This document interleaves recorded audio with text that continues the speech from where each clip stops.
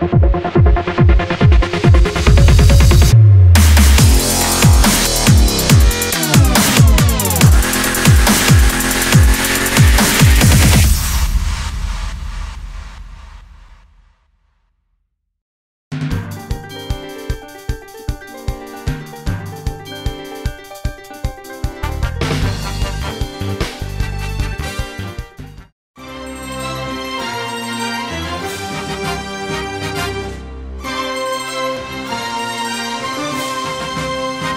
回は、ロシアのプーチン大統領が北朝鮮のキム・ジョンウン総書記を、えロシアに招待し、えプーチン大統領が直接キム・ジョンウン総書記を、え迎えて握手をしながらお会いできて嬉しいということで、まあ、今会談が行われています。え今回、えこの、えロシアと北朝鮮の会談に関して、えそして、え日本海に向けて、えこの会談を行われる前に、えー弾道ミサイルが発射された件に関してね、今回言及させていただきたいと思います。えー北朝鮮の金正恩総書記がロシア極東アムール州の宇宙基地に到着し、プーチン大統領が出迎えました。えー両首脳は、えー会談をしております。えー北朝鮮の金正恩総書記が日本時間の午後1時頃、ロシア極東アムール州の、えーボストーチヌイ宇宙基地に車で到着しました。えープーチン大統領が出迎え、握手をしながら金正恩総書記に、えー対し、お会いできて嬉しいです。旅はどうでしたかと、えー声をかけました。金総書記は、忙しい中、我々を招待し、このように歓待してくださったことに、えー感謝しますと応じています。えー両首脳が会談を行っているということで、えーこれに関して、えープーチン大統領ということで、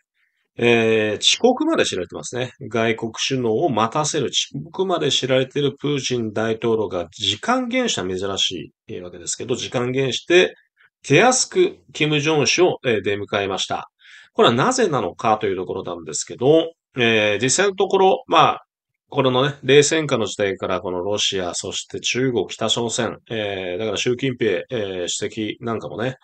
えーかなりまあ歓迎してるわけですけど、えー北朝鮮ということで、ロシア大国です。面積に関しても軍事力に関してもかなり大きな大国であるわけだけど、えー実際のところロシアから見れば格下の北朝鮮に対してこれだけ、えー実際プーチン大統領が直接出向いて出迎えてお会いできて嬉しいというふうに言ってるというのは、この心理はですね、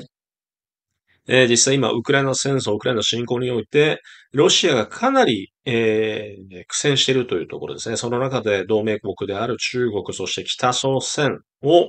えー仲間にし、まあ、協力を得たいっていうのがあるのかなって感じがします。えー北朝鮮、えーということで、えーウクライナ侵攻すぎロシアへのね、え武器供与、えーが、えこれがね、ロシアが求めているものであり、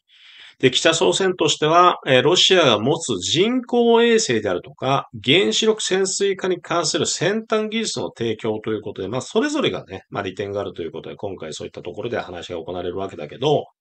えーロシア、旧ソ連の中で、まあ、ロシアに対して反応感情が強い国が多い中、えーそして中国、政治体制、中国であるとか北朝鮮、えー仲間ですから、えーやはり仲間をね、えーそのまま維持していきたいっていうのがあるのかなっていうのはね、思うところでございます。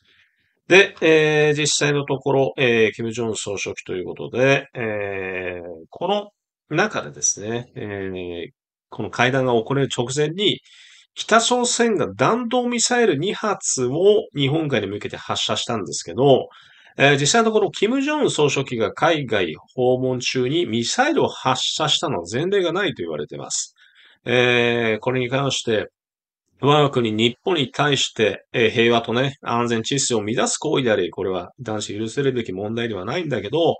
えー北朝鮮としてもですね、えーやはり、えーこういったところ、えーロシアと、まあ、同盟関係強化ということで、え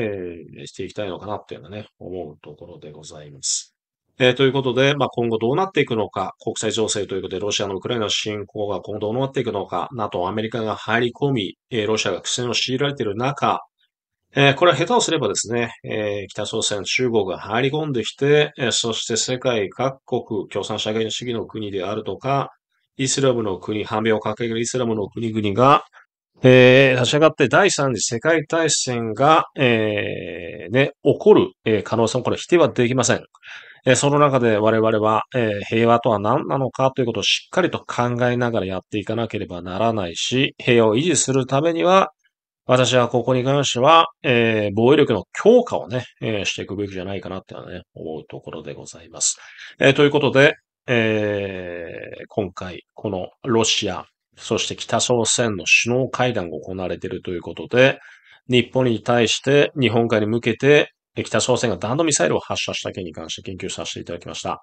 えー、今後こういった国際情勢に関して直接現地で、えー、撮影してきた、えー、もの、もしくは情報などをもとにね、えー、語らさせていただきたいし、現地実録動画を含めて発信させていただきますので、ぜひチャンネル登録いただいてない方はチャンネル登録いただければと思います。どうぞよろしくお願いいたします。